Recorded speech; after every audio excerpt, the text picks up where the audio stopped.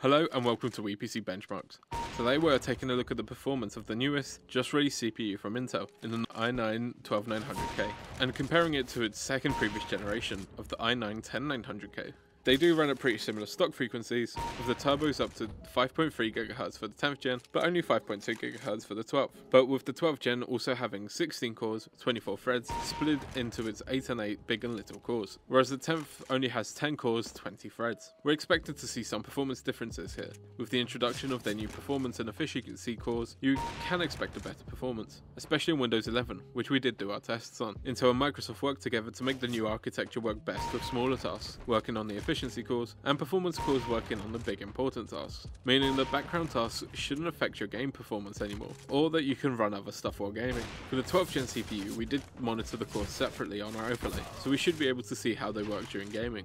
We also only did 1440p and 4K, as with a 3090 and all games at max settings, we wanted no real graphic bottleneck and see what a difference the CPU may have. So we start off with control, and at 1440p and Ultra, the 10900K averages 131 FPS, for 1% of 108 and 0.1% of 97. Then the 12900K, averaging 129 FPS, 1% of 106 and 0.1% of 100. Then at 4K, the 10th gen averages 69 FPS with 1% of 59 and 0.1% of 31, and the 12th gen averages 69 FPS for 1% of 58 and 0.1% of 28. Onto CSGO, and at 1440p, the 10th gen averages 258 FPS with 1% of 76 and 0.1% of 30, and 12th gen averages 355 FPS for 1% of 122 and 0.1% of 39, up to 4K, and the 10th gen averages 263 FPS for 1% of 89 and 0.1% of 11, with the 12th gen averaging 320 FPS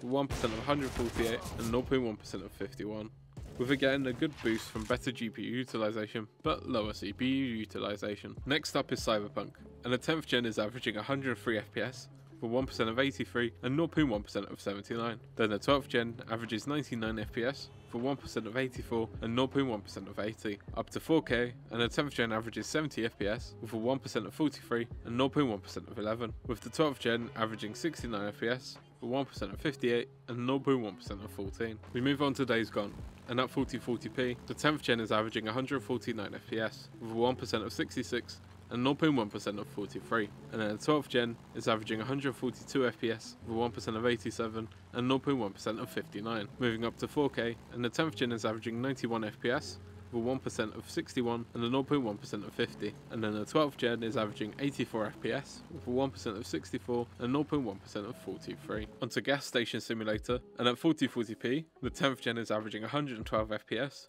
with a 1% of 70 and 0.1% of 41, with the 12th gen averaging 125 FPS for 1% of 82 and 0.1% of 35, up to 4K, and the 10th gen is averaging 79 FPS with 1% of 52 and 0.1% of 31, and then the 12th gen is averaging 75 FPS for 1% of 56 and 0.1% of 29. We have New World next, and at 1440p, the 10th gen is averaging 108 FPS for 1% of 56 and 0.1% of 16, and the 12th gen is averaging 125 FPS with a 1% of 72 and 0.1% of 57, up to 4K, and the 10th gen is averaging 106 FPS with a 1% of 54 and 0.1% of 19 with the 12th gen averaging 126 FPS with 1% of 80 and 0.1% of 67. Lastly, we compared the performance of the CPUs in a couple of synthetics or workstation applications, such as the BMW Blender Render benchmark.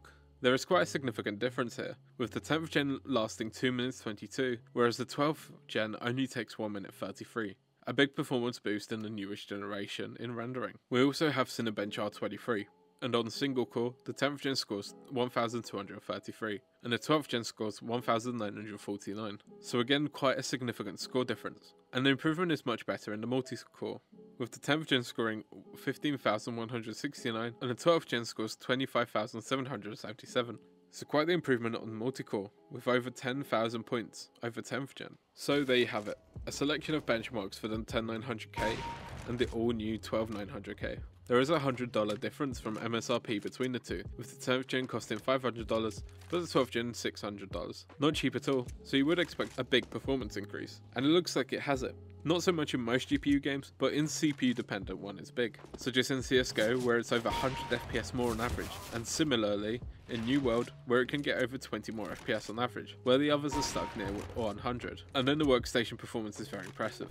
Taken off nearly a minute off a render and improving its Cinebench scores so much, it is a great deal. And then with its architecture, you can expect some improvement in resource management, when multitasking, which is becoming bigger nowadays. You can expect less stuttering and performances by doing stuff on your other monitor while gaming. Finally, Intel has brought it to AMD, and we can't wait to see what Team Red brings out in response to this. We hope you enjoyed this video, please like and subscribe, and we'll see you in the next one.